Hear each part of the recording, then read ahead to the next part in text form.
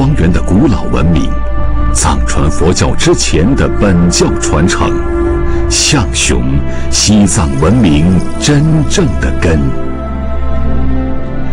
难以解读的象雄文字，绵绵若存的神秘修行，朝圣、祭祀、供奉，横亘千年佛本之争。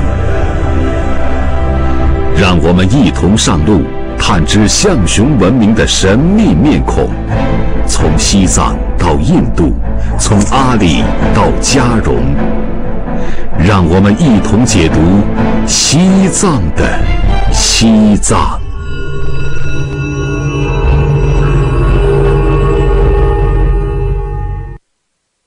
象雄文明和本教信仰作为西藏本土文明的奠基者，深刻地影响着后世西藏文明的精神气质和文化走向。但是呢，由于长期法难的打击和重创，本教传至今日只能在为数不多的一些地区零星的传播延续。为了全面寻找西藏文明真正的源流和根脉，我们踏上了行程，去寻找如今仍然活跃的那些本教领地，去领略一下本教僧侣当下的修行和生活。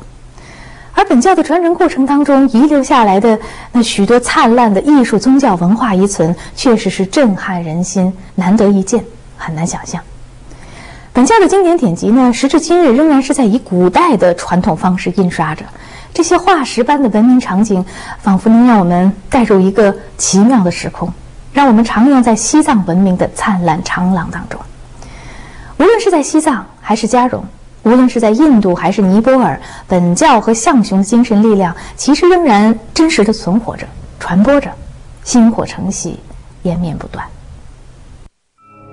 象雄王朝的辉煌已经消失了一千多年，我们只有在穹隆银城的种种遗迹里寻觅和猜想那个繁盛一时的文明。但是，作为象雄文明的灵魂。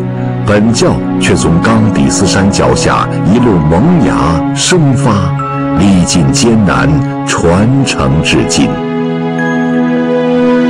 我们如今在一些寺庙的造像和壁画中，还可以辨认出本教的痕迹。这里说的是一千一百二十六年，主要价值体现在它的颜料年代。一个颜料呢，就是金银铜铁。再加上呢，呃，松软石是双红，啊，还有一些石料。本教来源于这个香凶，这个寺庙的主持第一个活佛呢，也是从阿里来的。壁画里面体现没有香凶的文明和有这样的关联，体现高原地区、阿里地区体现的这个香凶和吐蕃背景里面体现的这么有渊源的这种关系。在佛教与本教争斗最严重的时期，统治者对本教徒进行了大规模的排挤。尽管如此，本教信徒们还是没有放弃自己的信仰。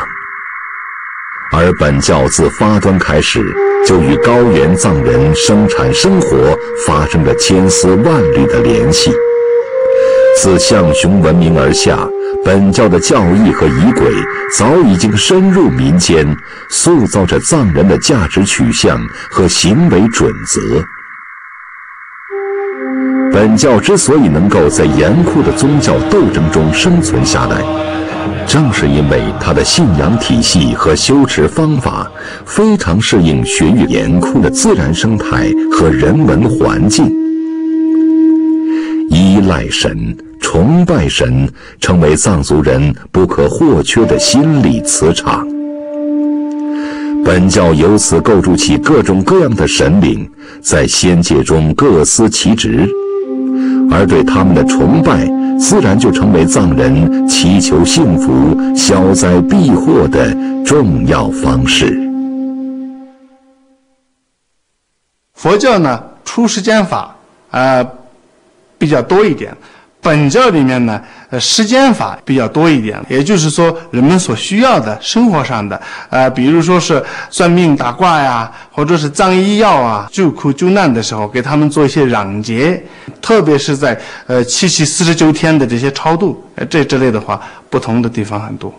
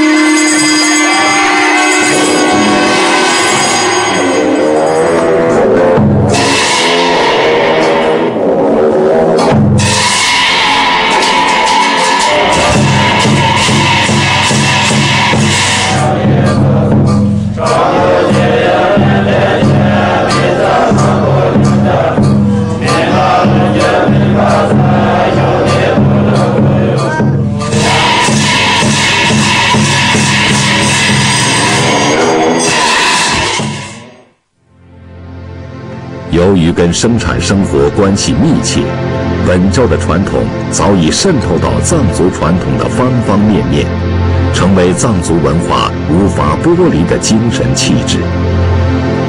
但是，由于政治和历史的原因，藏传佛教最终统领了西藏地区的意识形态，加上当地政教合一的统治，本教最终被作为异教遭到排斥。在屡次遭受法难之后，本教究竟经历了怎样的变迁？在千年之后的今天，古老的本教又在以怎样的面貌书写着自己？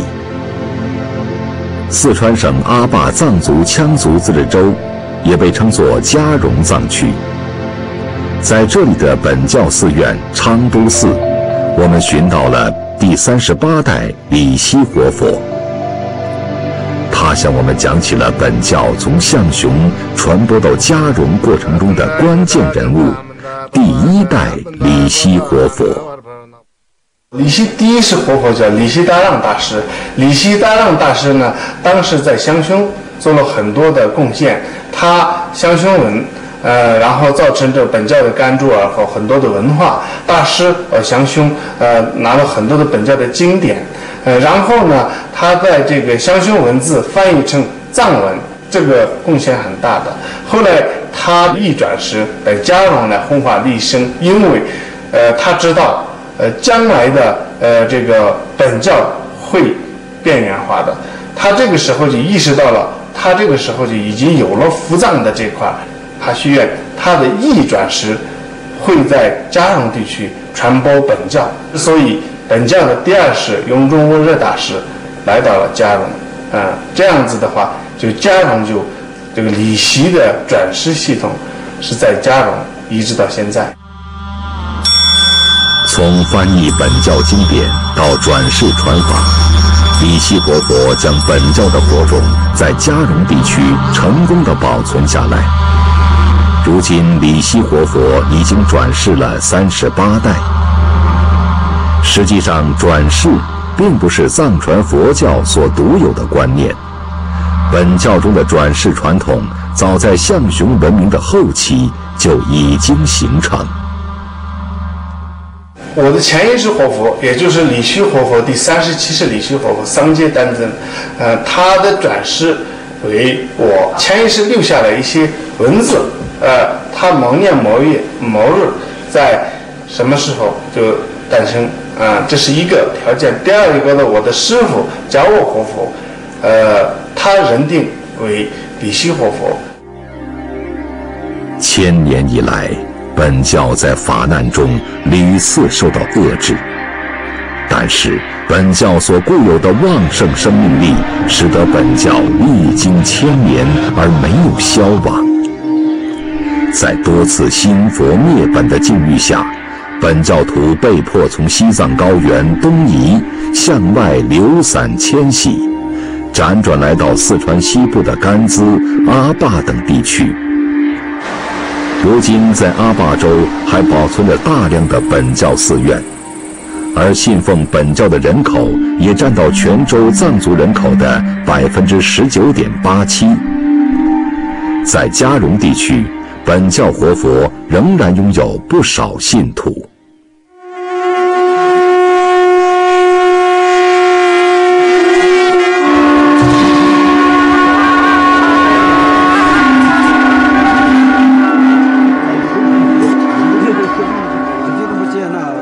嘉绒地区是当今本教信仰比较集中的区域，而这里独特的建筑样式仍然保存着一些。古老象雄的风采。这里的建筑和这种民俗民风很多都是象雄的这种相关的雕塑呢，就是我们的经书里面记载呢，说是有两种雕塑，呃，一个叫是这个王雕，呃，王雕指的是国王、古司、古人，呃，这样呢，就我们藏语叫亚龙克什，啊，然后呢，还有一种叫是神雕。我们就是藏语里面呢是这种三开，三就是说，呃，神、佛、啊本尊、啊金刚、啊，这些呢就是供奉的地方。这个碉楼呢，碉王。除了碉楼来自古代象雄文明，嘉绒地区还保存有许多难得一见的本教修行场所。建筑在悬崖绝壁上的悬空寺，就是其中的典型代表。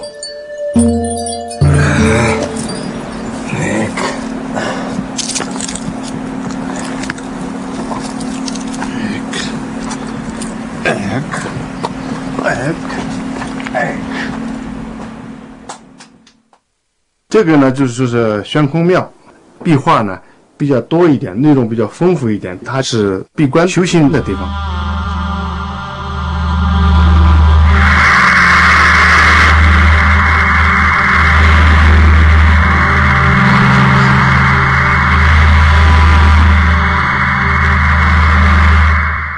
你通过它的色彩和它的这种风格来分析的话，上千年颜色的配备。呃，好，还有这个画这种金刚，呃，画这种护法的技巧是最远最早的啊，根本不是现在啊，这是在近期的，它最起码得有上千年的历史。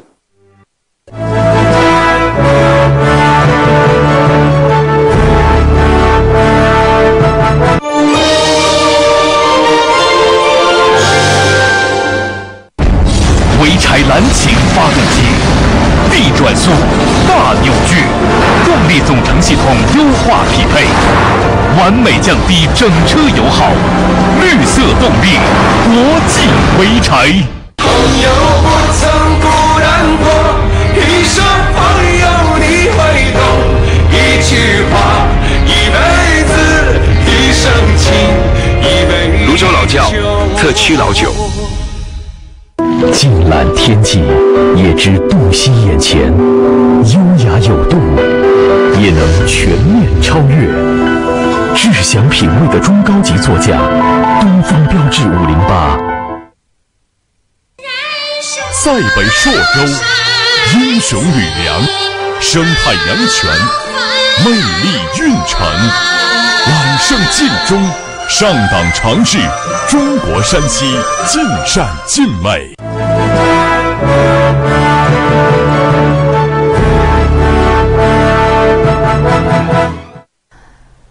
时间是最好的考验者，千年以前的壁画，如今仍然那么灿烂光亮，宛如当初。如此精妙的技艺，如此精湛的画工，都让今天的我们感到无比震撼。本教的信徒们当初是怀着怎样虔诚的心境来创作这些壁画作品的，我们不得而知。不过呢，通过墙壁上的这些壁画，我们真的也不难体会当年这些人在创作当中的那份信仰、那份神圣。而如今，本教的传播呢，大多已经退出了西藏地区，来到了四川的嘉绒。这种演化和流变，也代表了本教的新生。当然，这样投射出新生的契机，并不仅仅局限于中国境内。其实，在印度和尼泊尔都有正规的本教的寺庙和修行，甚至呢，印度的本教法王至今仍然保存着末代象雄王的宝物。这些传习自古老象雄的修行，似乎都在默默诉说着。本教的前世今生，绝壁上的修行遗迹，至今仍旧矗立在海拔四千一百米的嘉绒高山上。而嘉绒地区的著名本教寺庙昌都寺，仍然每天在持诵着古老本教的经典。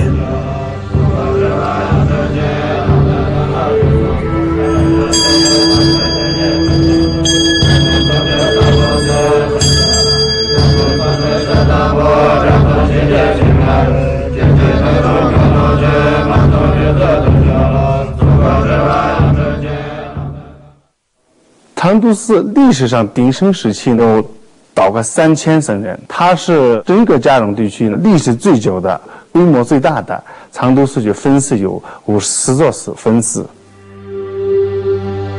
昌都寺距今已经有上千年的历史，虽然本教盛极一时的时代早已经过去，但是本教的教义却历经磨难，流传至今。昌都寺至今还留存着印制本教经典甘珠尔的雕版。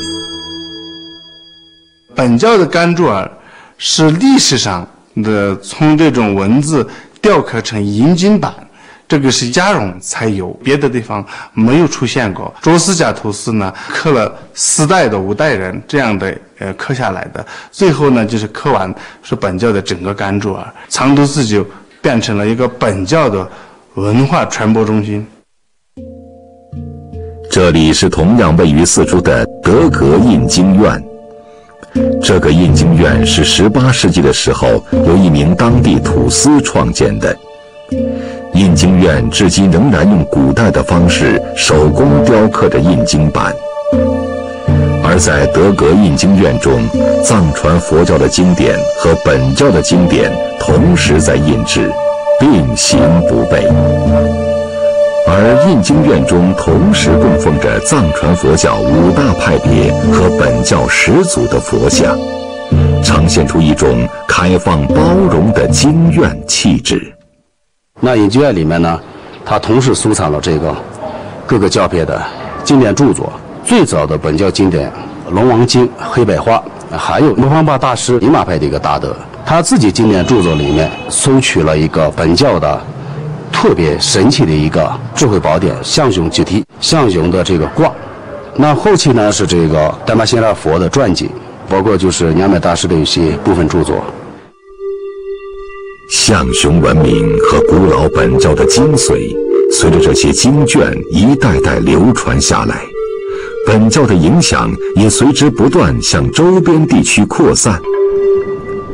如今法难和争斗早已经成为历史，本教在学术和宗教领域日益引起关注。现在的西藏门类众多的信仰自由流行在雪域高原上。开放包容的宗教环境，使得各种宗教和教派都得到了充分的发展空间和丰富的资源福祉。这广化寺呢，首先是一个我们本教的一个寺庙，而且是这个寺庙里面供奉的，既有本教的佛和菩萨，呃，也有这个，呃，印度过来的佛教的呃佛和菩萨。呃，甚至汉传佛教的观音和这样子的话，这个寺庙呢就比较包容文化和风俗融合，大家都现在都在说你中有我，我中有你，啊，就这个寺庙里面就体现得到。多种宗教崇拜集于一寺，在今天的西藏，藏传佛教与本教并行不悖，和谐共荣。在崭新的时代，共同守护着藏人的精神家园。这个世界会出现有一千个佛的，既会有本教的丹巴仙拉佛，也会有佛教的释迦牟尼佛。其实它传播的都是一切都是善法。他们两个其实在西藏圆满结合，也是一个鲜明合并的一个缘分。对本教来讲，按照汉语呢，就是翻天覆地。他说的是比喻呢，就是呃翻了五六倍，呃人们的这种生活呢得到了富裕，信仰得到了充分的自由，不同教派团结的共存。呃，大家现在是很应该就是很放松，呃很和谐，呃应该是活得很嗯舒服的一个这么个状态。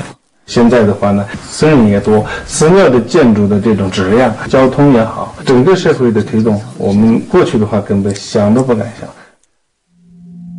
本教从古老的象雄时代一脉相传，历经波折，终于在当今重新焕发出光彩。而在西藏本土之外，本教的影响也在绵绵传承。位于印度北部的曼日寺。和尼泊尔的吹藤罗布寺，是藏区以外影响最大的本教寺庙。清晨，雄伟的曼日寺矗立在云雾朝霞之间，宛如仙境。仁波切说，尼泊尔和印度的本教寺院前身都在藏区，这里的僧人也主要来自藏区。以及和印度、尼泊尔交界的地方，也有很多来自欧美的外国人在这里考格西，需要八到十三年，学完所有的课程得要二十多年。这里虽然偏僻，但规模和影响已经很不错。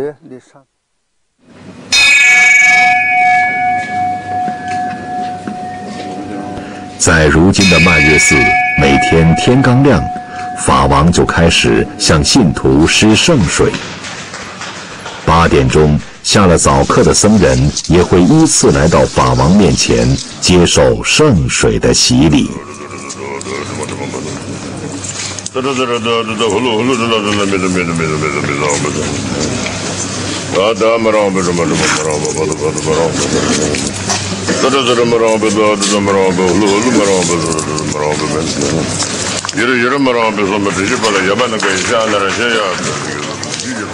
在曼日寺，学术传统正统而严谨。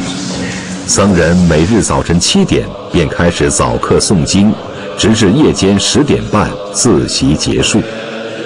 僧人学习历史、天文、历法等科目，要经过十三年的悉心修习，才能拿到格西学位。而在西藏本地已经无人能解的古老象雄文字，在这里却可以被解读，甚至还编纂出了象雄文与英文的对照词典。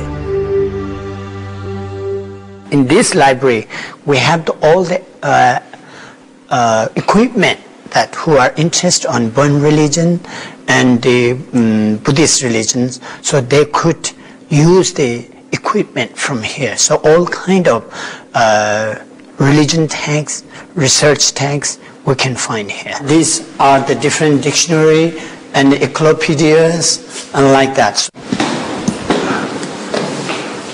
This is the uh, scripture, which is the Shangshun, which texts which are found in uh, Shangshun language was like that, like a special treasure, terig we call, that's a treasure scripture.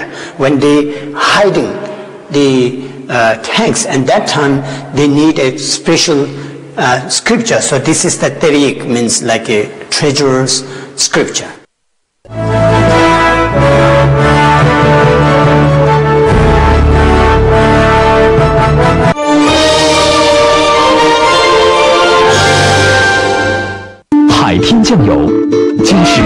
优选，坚持阳光晾晒，坚持每一颗用心，每一滴放心，经典味道，品质如一，海天经典味。生活多美味。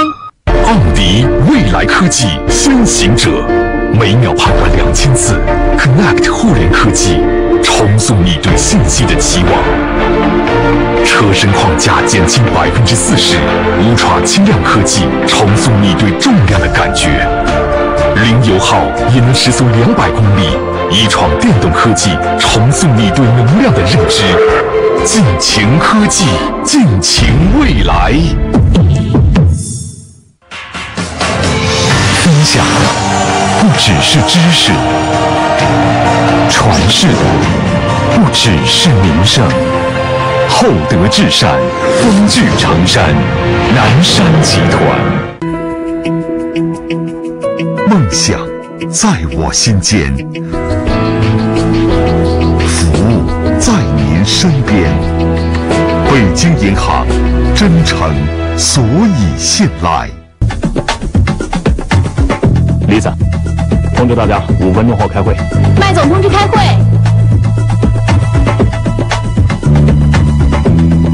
你们的方案我已经看过，我们应该更加关注用户的感受。大家都记住了？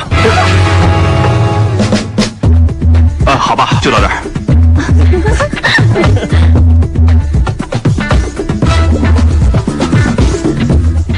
Das Auto。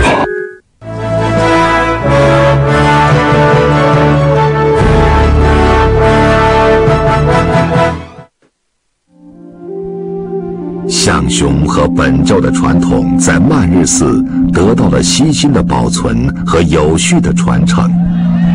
僧人每日在广场上辩经，通过互相问解，增进对知识的领悟。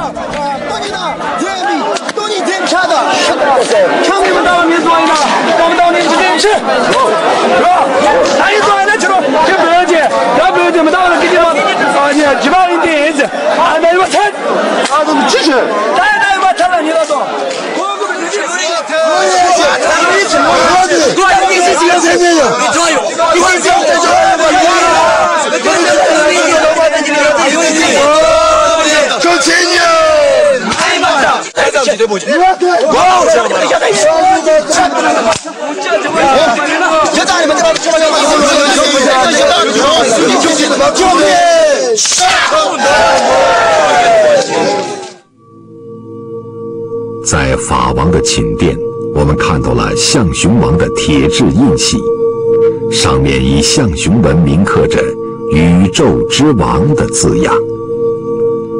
据说这枚印玺是从象雄末代国王李弥家传至今日的，算来已是一千四百个春秋。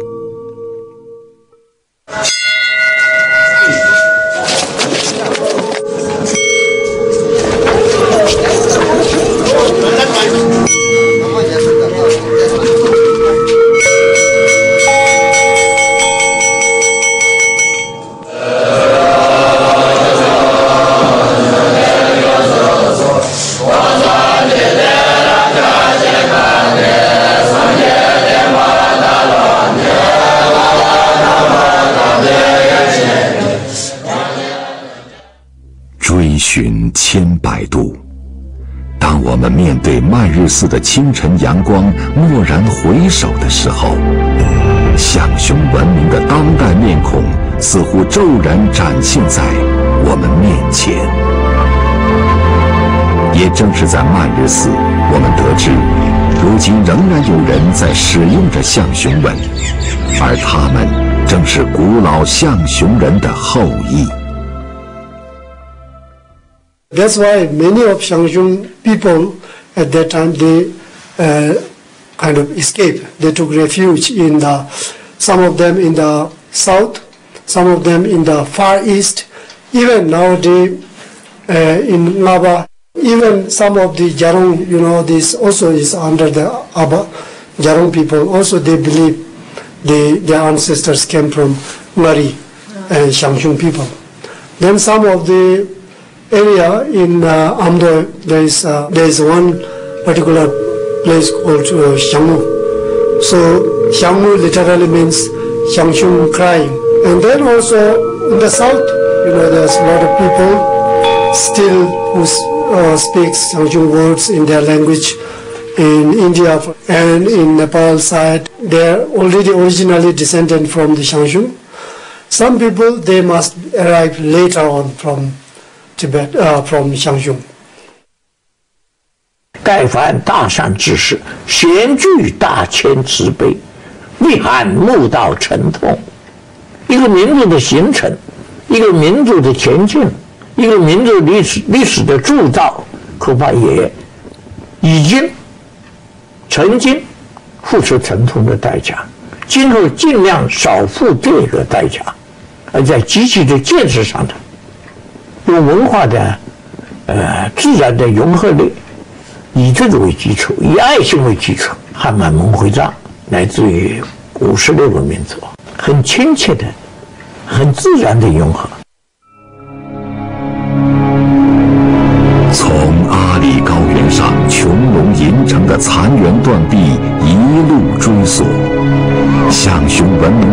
明的影子时而闪现。无论是加绒陡峭绝壁上的修行山洞。还是尼泊尔本教活佛给国际修行者讲经的场面，亦或是那些终于可以被解读的古老文字，象雄文明的痕迹仍旧渗透在西藏及其周边地域的文化基因中，在当下的僻静之所，熠熠闪光。也正是因为象雄，我们得以更加接近神秘西藏的源头和灵魂，而本教崇拜与象雄文字所承载的文化价值，将如同一条绵延无尽的大河，持久的流淌，流进西藏的西藏。